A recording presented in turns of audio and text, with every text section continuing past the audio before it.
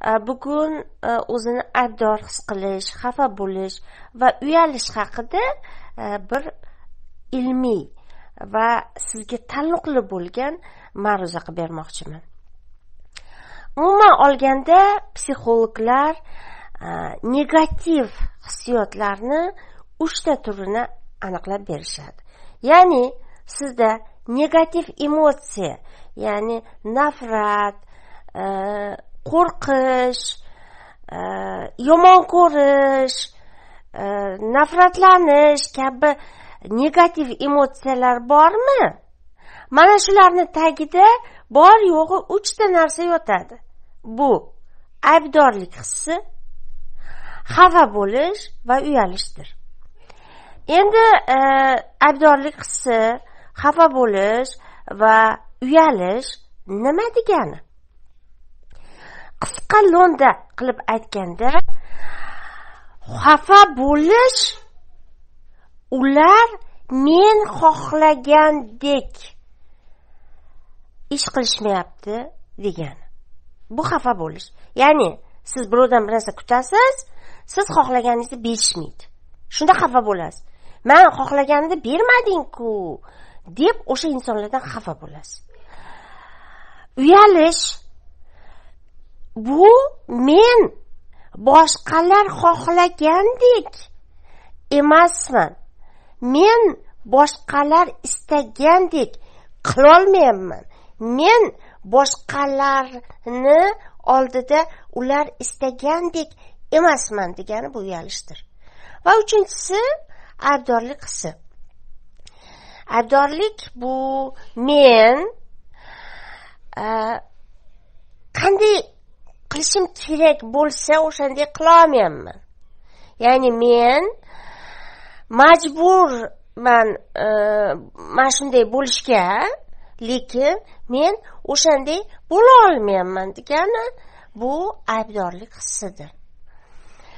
Bunda e, men xohlagandek qilsam e, hayotga to'g'ri kelmaydi. Men boshqacharoq qilishga majburman boshqacharoq bo'lishga boshqacharoq e, qaror chiqarishga boshqacharoq e, harakat qilishga majburman ammo bu meni xohishim emas degani aybdorlik hissidir. Mana shu endi uchta o'rtoq bir biri bilan o'rtoqlashib olsa sizni hayotingiz ostin ustin bo'lgani shu.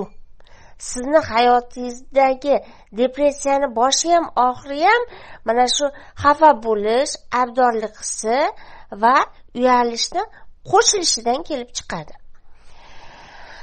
Ayniqsa abdorlik hissi boshqalarga nisbatan emas o'zingizga nisbatan bo'lsa bu men yomonman deyish ya'ni o'zini yomon ko'rish. Bunda men e, ahmoqman men chiroyli emasman e, men mm, qo'limdan kelmaydigan bir e, ojizman deyish men yomonman deyish. Men yomonman deyish ham o'zini ayblash aybdorlik hissi bor. Va aybdorlik hissini ikkinchi e, turi o'ziniga hukm chiqarish. Ya'ni men shu narsaga loyiq emasman deyish. Men oilamga loyiq emasman. Men e, bolalarimga loyiq emas onaman. Men erimga loyiq emas xotinman.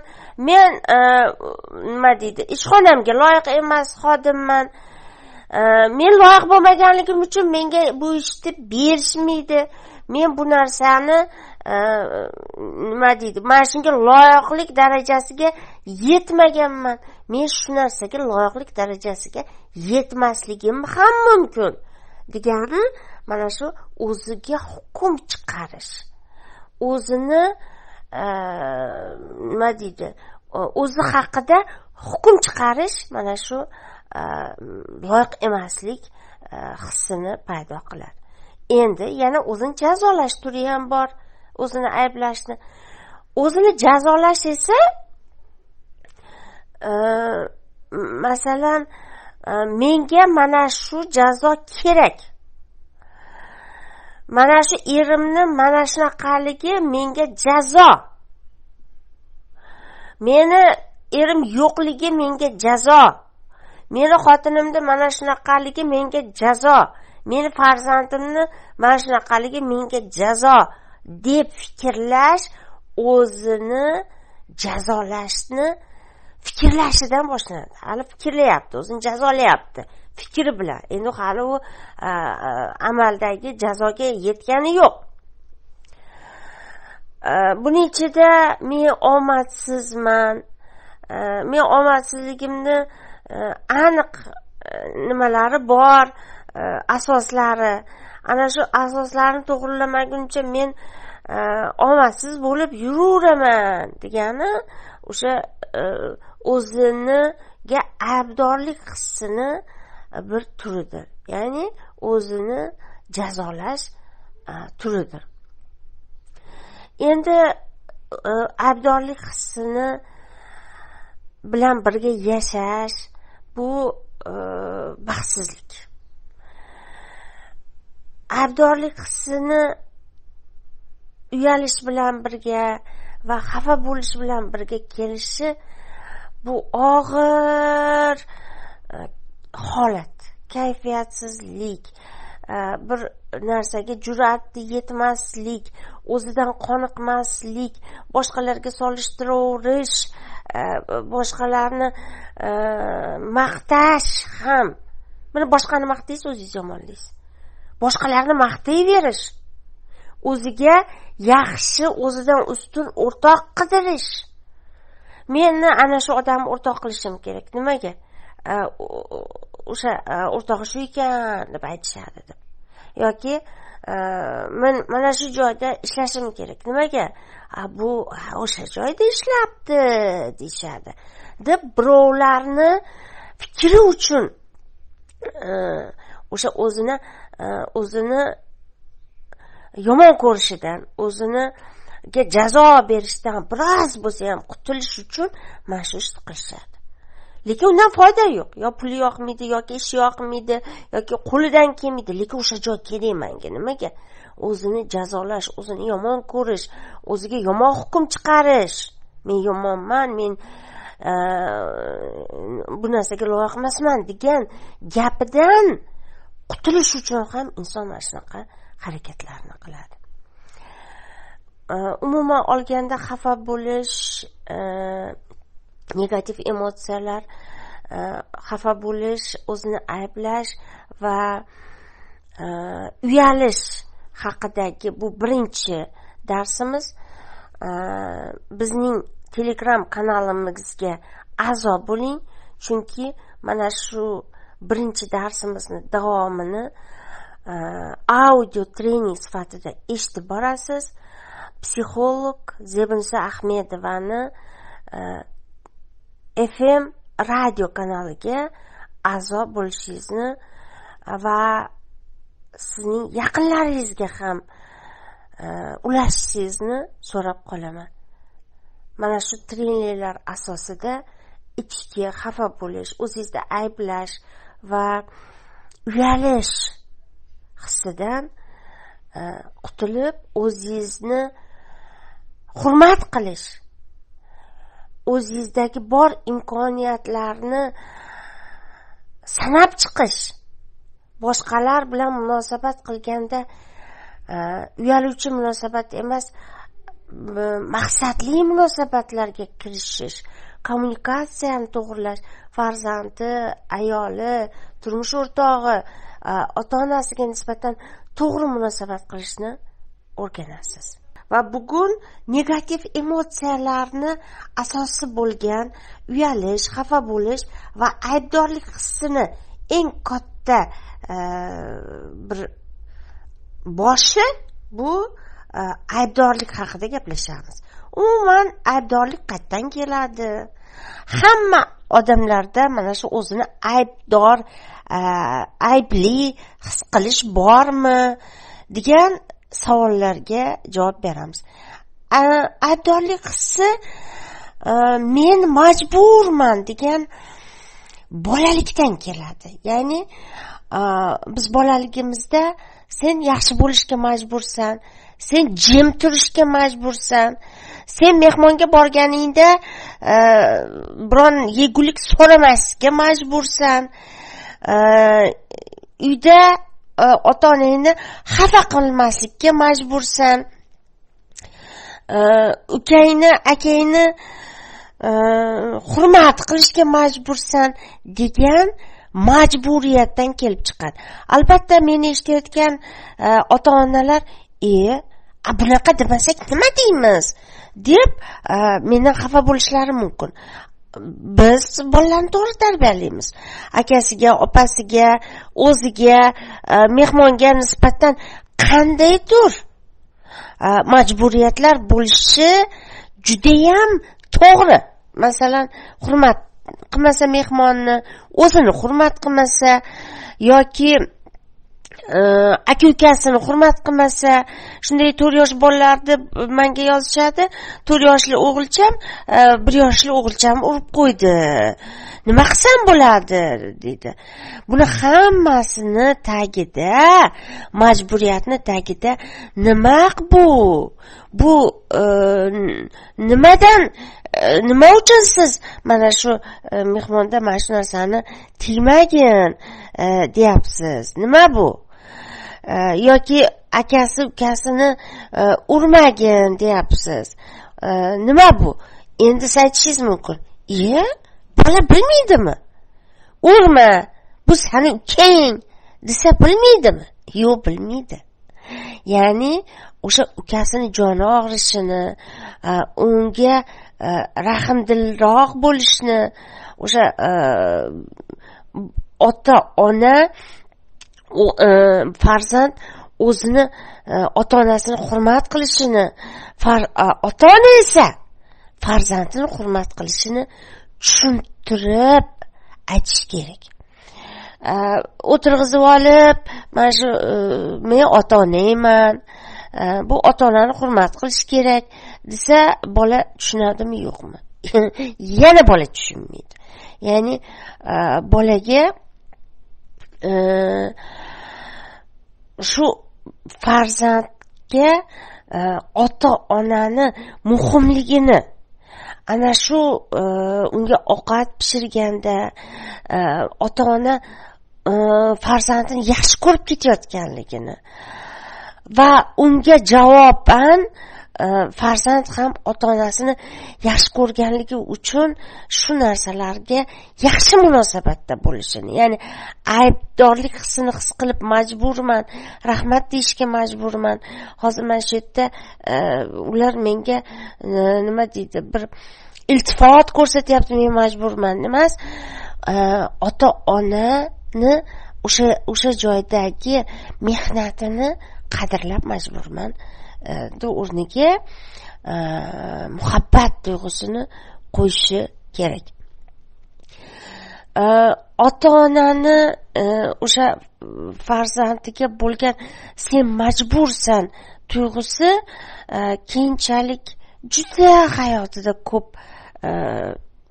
aybdorlik hissini paydo qiladi ikkinchi sababi aybdorlik hissini o'zimiz o'zimizga Э, men majburman degan narsani paydo qilamiz ekan. Ya'ni hamma narsani vaqtida ulgurishga majburman. Men e, hammaga yoqishga majburman. Men mm, diplomim bor e, o'sha diplomim asosida ishlab katta darajaga yetishga majburman. O'g'limni katta odam qilishga majburman. E, qizimni e, e, nima deydi katta joylarda o'qib keyin yaxshi oila qurishiga men majburman deyish bu insonni o'ziga o'zi aybdorlik hissini paydo qilishdir. Albatta zerus opa majburiyatni otib yuborsa inson kim bo'ladi? Mana majbur degan narsa qolmasa inson kim bo'ladi? Ha qiz o'z yo'liga o'g'il yo'q. Mana shu joyda majburiyatni siz maqsadga aylantirishingiz kerak. Ya'ni majburiyatni maqsadga aylantirasiz. Qanaqa qilib? Siz miyangizda xohlagan darajadagi e, maqsadga aylantirasiz. E, o'sha hayot talab qilgan darajada e, siz men majburman degan insonni ya'ni farzandingizni ham ichki dunyosidan ham uni qo'ldan kelish kelmasligidan kelib chiqib agar maqsad qo'ysangiz bu yerda aybdorlik hissini o'rnini maqsad degan narsa egallaydi. Э, o'zimizga o'zimiz qo'yilgan qo'ygan э, mana shu nimalarimiz majburiyatlarimiz э, bizni qiynamasligi uchun bizga baxt berishi uchun uni optimal ya'ni hayotga mos keladigan uni bajarsa eplasa bo'ladigan darajada maqsadga aylantirganimiz to'g'riroq ekan. Endi bilasizlarmi e, o'sha e, abdorlik hissini ham e, yoshi bo'larkan. Ya'ni birinchi yosh bu bolalikdagi bolalik abdorligi bolalik hissi. Bunda masalan bir mayda narsaga ham qarab mayda narsadan ham inson e, ayb topishi topishi ekan. Mayda narsadan ham ayb topadi. Masalan o'zini e, bir xatti harakatidagi bitta e, boshqalarga ziyon yo'q bo'lishi mumkin noto'g'ri qilib qo'ygan bo'lishi mumkin ataylab qilmagan bo'lishi mumkin. Mana shu narsani ham inson mm, bir aybli deb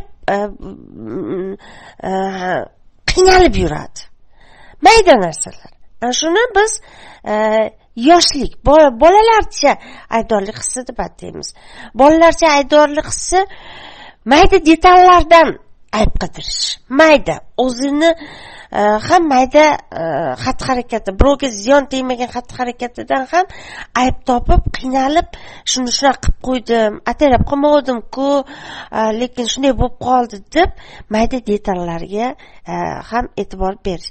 Endi inson bola bo'ladi undan keyin o'smir bo'ladi to'g'rimi? Endi aybdorlik hissini sal kattaroq darajasi bu go'yoki endi uni o'smirlarga o'xshatamiz biz. Ya'ni o'smirlar darajasidagi aybdorlik hissi. U juda mayda emas sal kattaroq. Bunda inson ichki vijdoni e, bilan gaplashish paydo bo'ladi. Men shunaqa dedim u unaqa dedi Э, mana shu gapimni э, oxirigacha eshitmadi. Bu mani asabiy qildi. Э, u meni yaxshi bo'lishimga yo'l bermadi deb inson Э, endi gapirishni o'rganadiku masalan bolalikda gapirolmagan bo'lsa e, faqat e, ichki dunyosidan ayb qidirib e, harakatidan ayb qidirib yurgan bo'lsa endi o'zi bilan o'zi gaplashib vijdoni bilan gaplashib vijdon qiynalishi boshlanadi. Shunday demasam bo'larkan shunaqa gapni aytmasam bo'larkan shu aybdor bo'lib qoldimda endi shu gapni aytishimga anavi sababchi bo'ldida anavi aybdorda dam o'ziga oladi aybdorlikni. Dam boshqaga ag'daradi aybdorlikni. Va bu joyda aybdorlik hissini mana shu joydagi qiyin ahvol inson mm, vijdonan qiynaladi. Meni aytganimni oqibatida meni gapirib qo'yganimni oqibatida kimdir e, qiynaldi deydi. E, endi inson qattarib qoladi va e, aybdorlik hissi ham e, masalan kattaroq darajada bo'lishi mumkin. Shuning uchun uchinchi e, darajadagi aybdorlik hissini biz зрелый voyaga yetgan aybdorlik hissi deymiz. Shunda biron narsaga sababchi bo'lib qolish bir e, masalan e, bitta joyga yur deganda o'sha borgan joyida yo'lda avariya bo'lsa men sabab bo'lib qoldim. Yoki bitta insonni e, palonchi больницаga olib borib davolatishga ana shu joyga boring desa u u joyda yo o'tib qolsa yo qazo qilib qolsa man aybdorman deyish. Ya'ni inson o'zini qilgan qarorlaridan yomonlik topish men aybdorman deyish. Bu aybdorlik hissi judayam og'ir e, uzoq paytli depressiyaga olib keladi. Men sabab bo'lib qoldim shu narsaga. Mana shu oxiri yomon bo'lib tugalgan narsaga men sabab bo'lib qoldim deyish bu e, anchagina kattagina aybdorlik hissidir. Endi aybdorlik hissi ham xuddi inson qarigandek e, qarigan charchagan kasallanmand bo'lgan turi bor. Buning uchun e, mana inson e, kasal bo'ladi. E, nima deydi? Mana bilasizlar yoshi katta bo'lgan sari terilarda ajin bosadi. Ko'proq uxlaydi turgisi kelmaydi. Mana shu aybdorlik hissini ham Э, o'sha charchab qarib kasalmand bo'lib qolgan turi bu o'rganib qolish aybdorligi. Э, aybdorlik hissi. Ya'ni e, o'zini boshqalarni ayblab o'rganib qolgan. Fikrlarini boshi ham o'zini ayblashdan boshlanadi oxiri ham birovni ayblash bilan tugaydi. E, hayot e, nohaq. U hayot o'sha e, odamlar odamzod biz yashayotgan jamiyat aybdor. E, men o'sha narsani e, nimasi nima deydi qurboni bo'ldim. Ellik yil keyin tug'ilganimda yaxshi bo'lar edi yoki mendan oldin bizdan oldin yashaganlar maza qilib yashagani Э, u payt bunaqa narsalar bo'lmaganda hozir mana nima qilsang ham aybdor bo'lib qolaverasan deb gapini ichida faqat ayblash va e, ayb qidirish va o'zini ham aybdor deb aytaverish bu insonni e, hayotini e, odatdek tusiga aylanib qoladi. Bunday insonlar qirq yosh bo'lishi mumkin lekin uni aybdorlik hissi to'qson yosh. Bu insonlar yigirma yetti yosh bo'lishi mumkin lekin u aybdorlik hissi e, to'qson yosh. Endi zemiz opa mana shu aybdorlik hissidan e, ketish mumkinmi? Albatta ketish mumkin. Mana shu men sizlarga sanab bergan beshta etapni qaysi biridasiz avval qaysi darajasidasiz mayda detallardan ayb topadiganmisiz gap so'zlardan da ayb topadiganmisiz yoki biron bo'lgan voqeadan men aybdorman deb ayb topadiganmisiz yoki umuman hamma hamma hammani e, ayblab tashlaydigan odammisiz qaysisi siz endi shunga qarab yoshingiz nechida bo'lishidan qat'iy nazar orqaga qaytib nima deydi aybdorlik hissidan to'g'irlash mumkin va telegram kanalida psixolog zemiz ahmedovani psixolog uz fm radio kanalida shu aybdorlik hissidan qutulishni etaplarini davosini alohida ma'ruza qilib aytib beraman hurmatli aziz e, suhbatdoshim e, siz e, kutayotgan juda ko'p mavzularni tayyor qilib o'tiribman. Faqatgina har bitta mavzuni ichingizga kirgizib uni o'rganib yaqinlaringizga ulashib tushunib bo'lganingizdan keyin keyingi bosqichga E, o'tish niyatim bor. Bular quyidagilardir. Nimaga inson sevib qoladi? E, haqida ko'p to'xtalganmiz. Buni ham keyingi e, ma'ruzalarini inshaalloh sizlarga yetkazaman. Nimaga inson xiyonat qiladi? Birinchi darajasi ya'ni sabablari haqida gapirganmiz. Uni ham keyingi bosqichlarini inshaalloh boshlab beraman. Va bugun o'sha negativ emotsiyalarni birinchi E, ma'ruzalarini qilib beryapmanki e, bularni hammasini jamlasangiz inson rivojlanadi siz bittasini e, ushlab olib keyin uni yaxshi bo'lib olib keyin bittasi emas bular hammasida bosqich bosqich bosqich ko'tarilib inshaalloh yuksalib boraverasiz. Nima bo'lgan taqdirda ham inson o'zini aybdor qilishi men aybdorman men qildim deyishi ya'ni olloh qildi degan e, gapdan uzoqlashib men qildimga e, borishidir. Buni tag tubidagi e, o'sha majbursan majbursan degan o'sha majburiyatlarga borib taqaladi. Majburiyatlarni saqlab qolgan holda aybdorlik hissini o'rniga maqsad tizimini shu maqsadga yetishni qadam ba qadam to'g'irlab borishni e, o'rgataman. E, sizning hayotingizdagi e, omadsizliklarga baxtsiz sezishingizga kayfiyatsizligingizga depressiyaga tushishingizga sabab bo'layotganligi haqida gapiramizda. Hamma psixologlar kabi avval sizni testdan o'tkazamiz. Ya'ni sizda o'zi aybdorlik hissi bormi? Bu aybdorlik hissi sizga qarshi ishlayaptimi? Buning uchun e, men sizlarga savol beraman. Bu savollarga ham yoki yo'q deb javob berasizlar. Ha deb javob bersangiz bir ball sanaysiz yo'q deb javob bersangiz ball sanamaysiz. E, mana shu test quyidagicha. Birinchi savol. Agar biron narsani bajarsam yaxshi bajarsam men zo'r insonman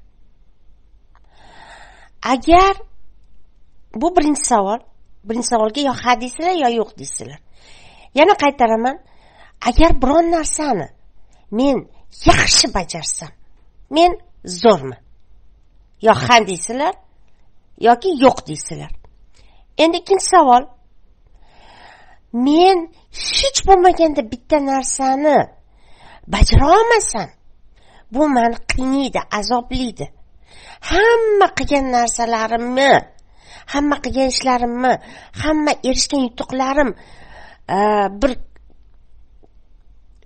hurmatga loyiq emasdek bo'lib qoladi bitta mana shu qilolmagan ishimni o'ylab o'zimni ayblab yuraveraman. Ana shu bitta kichkina qilolmagan ishim ham e, o'zimni behurmat qilishimga ayblashimga kun bo'yi shu narsani bajara olmading deyishimga sabab bo'ladi. Yoki ha deysizlar yoki yo'q deysizlar. Uchinchi savol. Ha deysiz yoki yo'q deysiz? Ha desangiz bir ball qo'yasiz o'zingizga yo'q desangiz ball qo'ymaysiz. Men insonlar bilan asabiylashmasdan sabrlilik bilan ularni tushun tushunib muloqot qilolmayman. Agar muloqot shunaqa muloqot qilolmayman desangiz bir ball berasiz. Yo'q men sabrliman odamlarni tushunishga harakat qilaman odamlar bilan chiqishga asabiy bo'lmaslikka harakat qilaman va eplay olaman desangiz nol qo'yasiz. To'rtinchi savol. Mening hayotimda mendan kuchli mendan baland mendan chiroyliroq mendan yoshroq mendan aqlliroq mendan omadliroq insonlar bor. Desangiz bir ball qo'yasiz. Yo'q men ularga o'zimni solishtirmayman. Men o'zimcha o'zimga xos chiroyliman. Mana shu yoshimda baxtliman. Mana shu aqlim mani baxtimga yetarli. Omad uchun mehnat qilib maqsad qo'yib yurgan odamman desangiz nol ball qo'yasiz. Bir ball qo'yishingiz uchun agar siz odamlarni sizdan yomonroq yoki yaxshiroq chiroyliroq yoki xunukroq yoshroq yoki qariroq aqlliroq yoki mendan u aqlsiz omadliroq yoki mendan u omadsiz yoki mendan u omadli deyotgan bo'lsangiz bir ball qo'yasiz endi sizda nechi ball paydo bo'ldi? Agar nol ball paydo bo'lgan bo'lsa ya'ni to'rtta savolga ham e, yo'q men unaqa emasman degan bo'lsangiz siz ruhan e, psixologik yetuk insonsiz va psixologik yetuklikni e, bir ko'rsatkichlari siz hayotda nima bo'lishidan qat'iy nazar oldinga qadam qo'ya oladigan boshqalarni o'zingizni ayblab o'tirmasdan vaziyatdan kelib chiqib bo'lmadi bo'lmadi lekin boshqatdan maqsad qo'yish kerak deydigan insonsiz.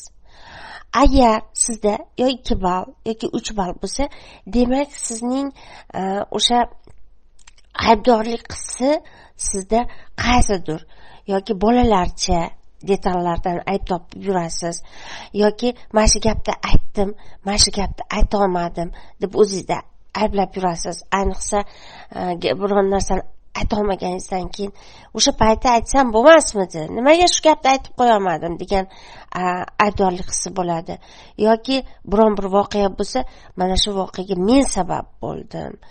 E, shu narsani meni aytishim bilan shu narsa bo'lib ketdi deydigan insonsiz va e, hammadan e, og'ir variantida hammadan ayb topadigan e, o'zingizda hamma narsaga bo'lar bo'lmas qo'shnini uydagi narsaga ham o'zingizni tiqishtirib men aybdor bo'lib qolganmikinman?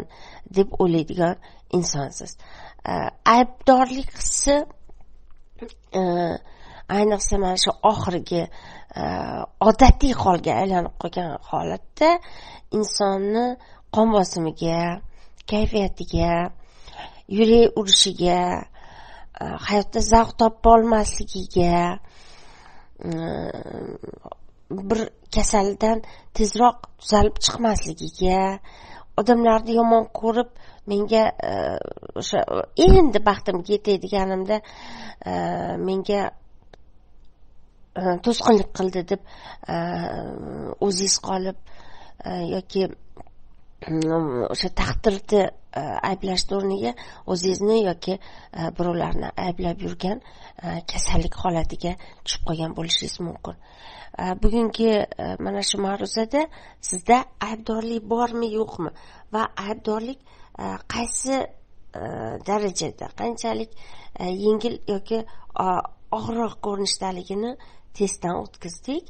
Keyingi e, ma'ruzalarimizda e, telegram kanalidagi psixolog uz fm e, zebin ahmedovani onlayn radiosi kanalida aybdorlik hissini to'g'irlash undan chiqib ketish hayotni baxtli zavqli maqsadli sog'lom ko'rish uchun nimalar qilish kerakligi haqida alohida e, keyingi mavzularda aytib o'tamiz.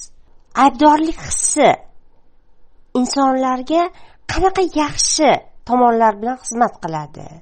Umuman aybdorlik hissini e, yomon e, xususiyatlari nimada? Shu haqida bugun gaplashamiz. Aybdorlik hissini inson his qilganida u o'zini kamchilik taraflarini ko'radi.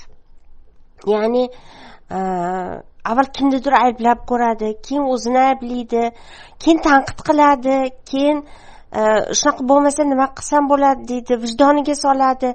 Bularni hammasi kerak. Ya'ni aybdorlik hissi umuman e, kerak emas ayb aybsiz yashash e, o'zini ayblamasdan yashash kerak deb o'ylamanglar aybdorlik hissi shu vaziyatda kerakki ya'ni undan siz to'g'ri xulosa va to'g'ri kuch topishingiz kerak. Ya'ni bitta narsani noto'g'ri qilib qo'ydim deganda agar shu aybdorlik hissi bo'lmaganida siz to'g'ri qildim deb yoki bo'laveradi shunaqa bo'lishi kerak edi deb yashab ketavergan bo'lardingiz. Aybdorlik hissi sizni meni umuman hammani biroz to'xtashga e, to'xtagandan keyin hayotingizga o'zingizga qarashga undan keyin e, qarorlaringizni chiqarishdan oldin e, hayotdagi o'sha sizni siz qilib turgan majburiyatlaringizni bir hisobga olishga undaydi. Aybdorlik hissi masalan e, qayerda to'xtash kerak? Masalan aytaylik siz aytdingizki man kitob o'qiyman deb oldingizga maqsad qo'ydingiz hech o'qiy olmayapsiz mana shu joyda e, o'zingizni bir yomon ko'rib ketdingiz e, aytganimga o'zim rioya qilmayapman dedingiz. Ana shu joyda shunga qaytasizmi? Qaytmaysizmi? Sizni bir to'xtatadigan kuchni oti aybdorlik hisoblanadi. Aybdorlik hissi agar jazolashga aylanib ketib qolsa ya'ni maqsad qolib jazolashga aylanib ketib qolsa bu aybdorlik hissidan to'g'ri foydalanmaslik. Aybdorlik hissi agar e, inson o'zini o'zi yomonlash bilan e, vaqtini o'tkazishga ketkazib qolsa bu bu ham yana e, sizni sizga xizmat qilmaydigan aybdorlik hissi. Aybdorlik hissi birovlarni ayblashga e, vaqtingizni o'tkazishga e, o'zim emas anavi aybdor o'zim emas anavi aybdor deb e, mas'uliyatni boshqaga tashlashga vaqtingizni ketkazsa u ham sizga ziyon qiladigan aybdorlik hissi sizni qiynaydigan sizga foydasi yo'q aybdorlik hissidir yana bir marta aytaman qo'rquv qanchalik insonga yordam beradi yashashga. Aybdorlik hissi ham insonni to'xtashga Э, boshqatdan yana bir qarab ko'rishga mas'uliyatni yana bir marta o'z zimmasiga yoki boshqalar zimmasida ekanligini his qilishga olib keladigan e, holatdir. Aybdorlik hissidagi eng bir og'iri men yomonman degan aybdorlik hissi. E, har bir inson hayotda e, yaxshini yomondan ajratadi. Xohlaysizmi xohlamaysizmi siz boshqalarga solishtirib o'zingizni yaxshi yomonga ajratasiz. Masalan hayotda bironta e, sizni yoshingizdagi ayol bo'lmaganda bitta siz bo'lganingizda o'zingizni yaxshi yomonligingizni qayerdan ham bilgan bo'lardingiz? E, aybdorlik hissi e, men yomonman degan paytda o'zingizni yaxshi qilishga undaydigan kuch ammo shu men yomonman men yomonman men qilolmayman. Men e, shunaqa bir e, ahmoq ish qilib qo'ygan odamman. Man ojizman. Men e, nima deydi o'zimni o'ylab ololmayman degan narsani o'zi mana shu aybdorlik hissini bitta joyda to'xtab qolishi. Endi uni yurishi esa men yomonman degan esa qaytim yomon nima yomon menda? Semizligim yomonmi og'zidan keladigan sassiq hid yomonmi e, nima deydi birovlar hayotiga aralashish yomonmi e, o'zini hayotidagi yaxshi narsalarni hisobga olmaslik yomon nima yomon? Ya'ni e, keling hozir sizga men yomonman men nima deydi Э, э, o'zimni yomon ko'rib ketyapman degan joydagi э, o'zingizni fikrlaringizni to'g'irlashga bir o'rganamiz o'rgataman. Ya'ni alloh aytganki men musavvirman men chevarman degan. Ya'ni har bitta insonni e, bir chiroyli go'zal e, hurmatga loyiq e, bu dunyoda bebaxt insonni o'zi yo'q. Baxtsiz inson o'zi yo'q faqatgina o'sha baxtini topolmagan shuni ko'rolmagan insonlar bor. Men yomonman deganda o'sha ollohni musavvirligiga e, sizni bir chiroyli qilib yaratganiga qarshi borayotganingizdan ham e, bu e, aybdorlik hissi sizni baxtsiz qiladi. Agar men yomonman deb deb o'zingizdan bir yomonlik topsangizda va uni yaxshi qilishga yo'l topsangiz uni e, yaxshi taraflarini ko'rib qolsangiz haqiqatdan siz e, o'sha ollohni chevarligiga va musavvirligiga qaytgan bo'lasiz. E, To'g'irlab olgan o'shani yana kuchaytirib olgan rivojlantirib olgan bo'lasiz. O'zingizga qarang men yomonman degan fikr sizda bormi? Men go'zalman degan fikrni o'rtasi e, o'rnida men qandaydir e, bir narsalarim yoqmaydi degan fikr bormi? Yoki farzandingizga nisbatan yoki xarakteringizga yoki ovozingizga yoki nima deydi sochingizga yoki e, muomalangizga nimaga nisbatan sizda men yomonman degan fikr bor. Ana shu fikrni o'zgartiring. Ya'ni haqiqatdan yomon bo'lib turib Э, uni yaxshi deb aytolmaysiz э, lekin uni to'g'irlash ya'ni haqiqatdan chevarlikni topish haqiqatdan uni bir mm, e, isloh qilish e, sizni kayfiyatingizni ko'taradi. Aytaylik bitta devor e, yorilgani o'sha devorga qarab yo bu yaxshi devor yaxshi devor desangiz bu haqiqat bo'ladimi? Bu haq so'zi ya'ni olloh so'zi bo'ladimi? Yo ko'zingiz ko'rib turgan hozir yiqilib tushaman degan devorni ko'rib turib bu yaxshi yaxshi deb aldamoqchimisiz?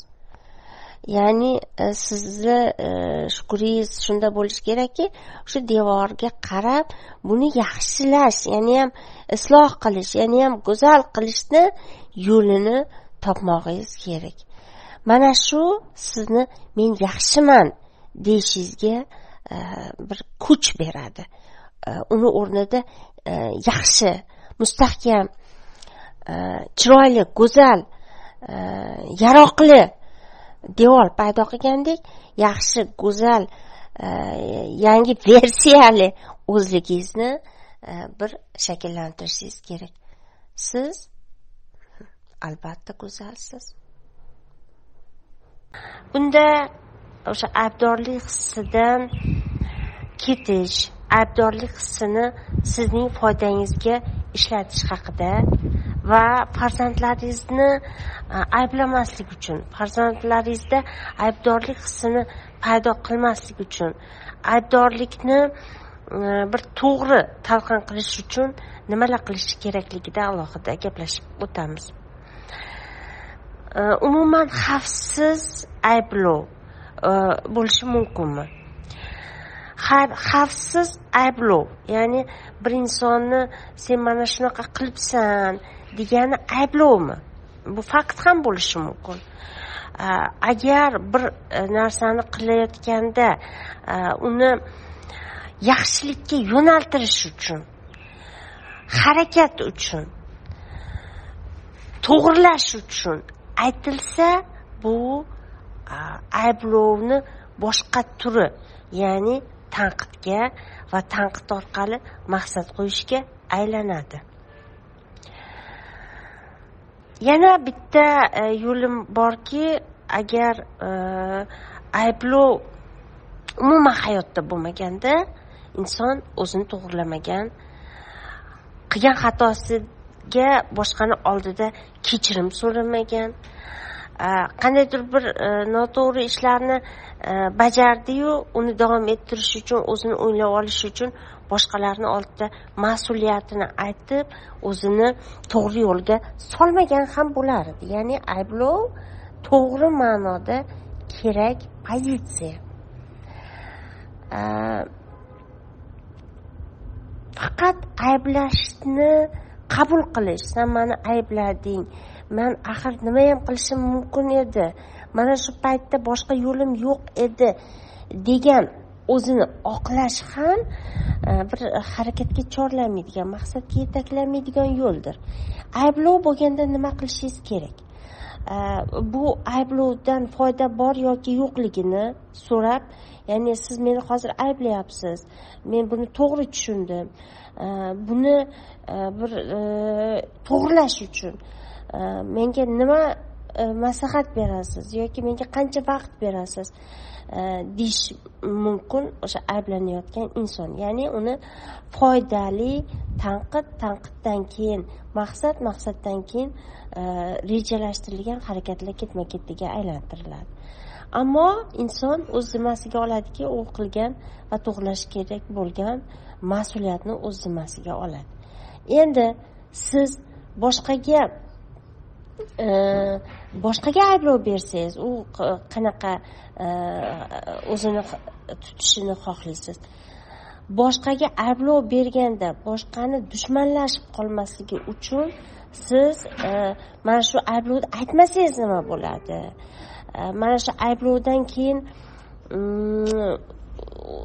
o'sha insonlarni to'g'rilamasangiz nima bo'ladi? Ko'rib turib indamasangiz nima bo'ladi? Mana shu haqda ya'ni aybdorlik hissi paydo qilmaslik uchun to'g'ri ma'noda yaxshi ish qilayotganligingizni ishontirib bera olishingiz kerak.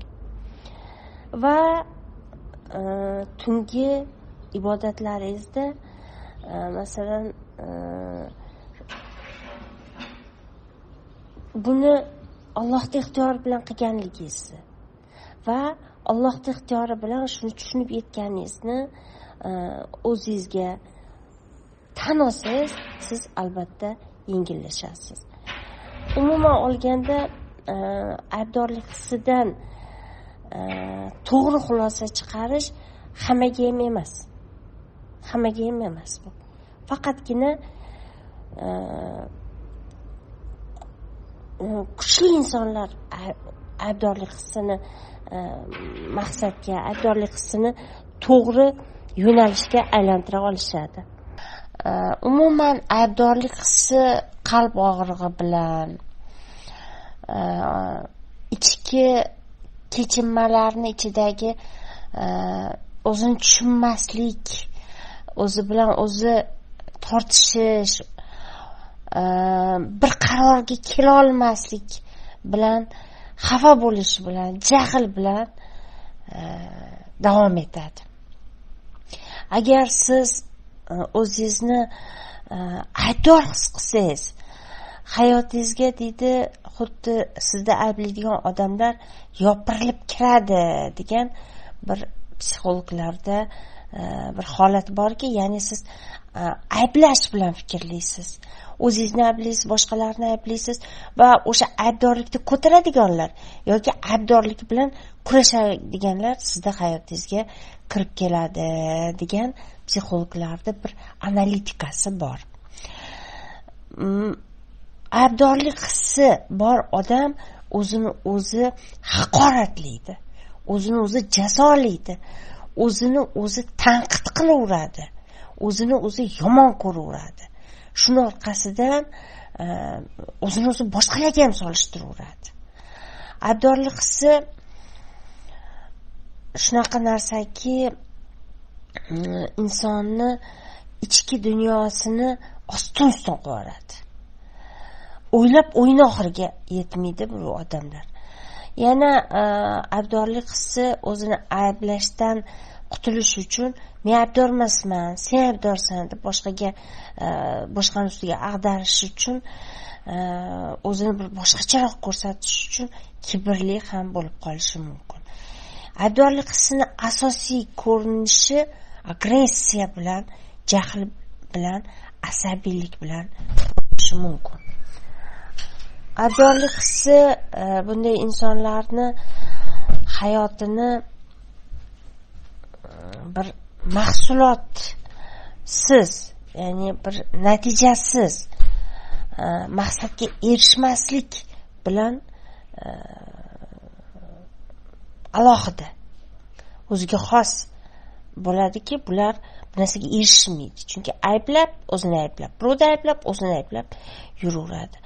Endi bilib turibsizlarki aybdorlik hissidan chiqish uchun shu e, men aybdor sen aybdor degan paytda bu taqdir ekanligini olloh shuni istaganligini e, shu narsa bo'lishi kerak bo'lganligini bu sinov bo'lganligini inson tushunib yetsa e, o'sha aybdorlik ya'ni o'zida ko'rgan kamchilik birovlarda ko'rgan kamchilikni o'rniga endi qanday yashaymiz endi qanday qilamiz degan maqsad qo'ya oladi keling o'sha maqsadni Э, birinchi э, qadamidan boshlaylik. Э, ya'ni siz ichki dunyoyingizdagi aybdorlik hissi bilan ishlasangiz bu sizda bormi yo'qmi testda eslang. Testda necha ball? Agar bu ikki ball bo'ladigan bo'lsa e, demak e, sizdagi aybdorlik hissi sizga yordam beradigan darajada. Agar bu to'rt uch ball bo'ladigan bo'lsa bu e, noreal ya'ni oshirib yuboryapsiz o'zingizni ayblashdi yoki birovlarni ayblashdi. Qo'lingizga bir ruchka oling oq qog'oz oling. Hayotingizda bo'lgan e, e, ko'p voqeani eslashga harakat qiling va shuni ichidan eng og'irini eng siz e, men aybdorman deganligini va eng og'irini men emas boshqa birov aybdor edi o'sha paytda degan voqeani yozing. Balkim bu ko'zingizga yosh olib kelar balkim mm, yana qalbingizni e, bir joylari og'riq bilan e, sizni qiynar ammo bilingki mana shu e, qadamni qo'yib ichki dunyoyingizni ichidagi bir nima deydi yashirinib yotgan og'riqlarni malham bilan davolamas ekansiz siz sizning ichingizdagi ko'ngil to'lmaslik qoniqmaslik birovlarni ayblovurib maqsad qo'yolmaslik hozirgacha va bundan keyin ham davom etaveradi endi yozib bo'lganingizdan keyin bu sizni qaysi hayotingizni qaysi sohasiga bog'liqligini eslang ya'ni oilaga bog'liqmi ishga bog'liqmi bu farzandlarga bog'liqmi? Mana shu joyda nima sabab bo'ldi? Aybdorlik hissini his qilishingizga sabab nima bo'ldi? Aniq o'sha sabab nimaligini Э, o'zingizda ayblashingizga sabab nima bo'lganligini yoki birovni ayblashingizga sabab nima bo'lganligini yana bir marta yozib chiqing. Va uchinchi qadamni qo'yasiz. Uchinchi qadamda qayerda ko'proq siz e, aybdor his qilasiz o'zingizni ko'chadami uydami e, qarindosh urug'nikidami ishxonadami o'rtoqlaringizni oldidami? Ya'ni o'sha e, o'zingizni aybdor his qilayotgan paytingizda sizni atrofingizda kimlar bo'ladi? Kimlarga siz e, aybdorligingizni yoki boshqalar aybdorligini aytishga harakat qilasiz? Va e, yuqoridagi ma'ruzada aytganimizdek bu aybdorlik qismi nimalardan iborat? Detallardanmi? Yo e, mayda detaldanmi? Yoki men aytdim men aytolmadim degan gap so'zlardanmi yoki harakatdanmi mana shu e, narsa bo'lishiga men aybdorman deb degan bir xatti harakatmi yoki bu e, shu ertadan kechgacha o'zingizni va birovni ayblab yurishmi? Bu qaysisi qaysi biri va qayerda bo'ladi bu? Undan keyingi qadamni yana qo'yingki Э, o'zingizni aybdor his qilayotgan e, holatingizni sxemasini chizing. Qayerdan boshlanadi? Sizdan boshlanadimi? Yo boshqadan boshlanadimi? E, aybdorlik hissi. Boshqasiga sandor aybdor ko'pincha? Yoki sizdan boshlanadimi? Yoki hamma narsa ketgandan keyin o'zingizni o'zingiz e, ayblashdan boshlanadimi? Mana shuni sxemasini chizing. Birinchi ikkinchi uchinchi va oxiri nima bilan tugaydi? Endi e, o'zingizga e, bir qaror chiqaringki ya'ni beshinchi qadamni qo'yingki e, har safar aybdorlik hissi kelganda uni Э, ayblashga va o'zingizdan ayb axtarishga emas o'sha e, aybdorlik sizga ko'rsatib bergan e, holatlarni kemtiklarni maqsadga aylantirishga siz ayblamoqchi bo'lgan odamlar bilan e, murosa qilishga kelishishga maqsad qo'yishga harakat qiling. Umuman olganda orzu qilolmasligingizni ham sababi aybdorlik bo'lishi mumkin. Keling o'sha orzu qilib ko'ring. Orzularingizni ichida shu e, ayblashni o'rniga maqsad qo'yish men qilolaman deyish men kelisha olaman deyish e, o'tmishni unutish men endi ayta olaman. Man e, voqea hodisa qanday bo'lishidan qat'iy nazar o'shani to'g'ri talqin qila olaman boshqalarga to'g'ri tushuntirib bera olaman degan maqsadlarni oldingizga qo'ying. Э, va bilasizmi o'zingiz rasmingizni oling. O'zingiz rasmingizni olganda o'zingiz rasmingizga qarab shu inson aybdormi? Shu insonni ayblaganlar qanday degan e, fikr bilan rasmingizga qarang. Rasm sizga nimalarni gapiryapti? Sizni ko'zingizda nimalar bor? O'shani e, his qilishga harakat qilib ko'ring. Va e, oxirgi qadam endi e, o'sha ardorlik hissini bir qop qora e, bir ilondek sizni bo'g'adigandek emas bu bir baliqqa aylantiringki shu e, baliq toza suvda yuradi va u o'sha nima deydi suvda suzgan paytda bir e, yo'l ko'rsatadi. Ya'ni suv ham toza baliq ham toza halol luqma ya'ni aybdorlikdan mm, bir qorong'ulik ko'rmang. E, uni maqsadga bir yo'l topishga ishlating. Sizning hayotingizda sizni ayblagan va e, sizdan ayb topgan e, o'zingizni ayblagan va o'zingizdan ayb topgan e, Э, voqea hodisalaringizni eslaganingizda o'zingizni mm, kechirishingizni so'rab qolgan bo'lardim. Va albatta e, o'zingizga qarab o'zingizni hurmat qilib e, hurmat qilganda e, o'zizga bir bir yaxshilik tilab endi o'zizda ayblaganlaringiz Э, boshqalar sizni ayblaganlari sizga qanday ta'sir qilishi haqida ham e, o'zizga bir xulosa bering. O'ziga bir xulosa bering. Qachondir siz kechirim so'rashingiz kerak bo'lgan insonlar hayotingizda bo'lsa e, to'g'ri bu taqdir taqozosi bilan shunday bo'lgandir.